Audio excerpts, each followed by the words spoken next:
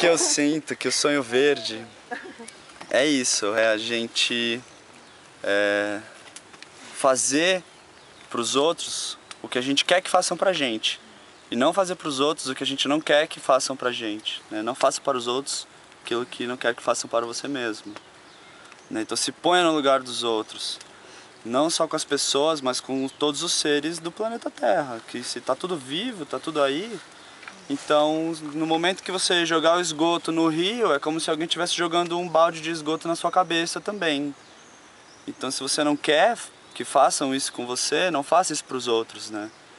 Se você não quer que as pessoas briguem, lutem, façam guerra, não não faça guerra também, né? E se alguém te dá um, uma punhalada, um soco, não dê o troco na mesma moeda. Tem muita gente que, né, ah, eu vou dar o troco na mesma moeda. Não faça esse tipo de retaliação, faça justamente o contrário, porque aí é que o outro vai aprender.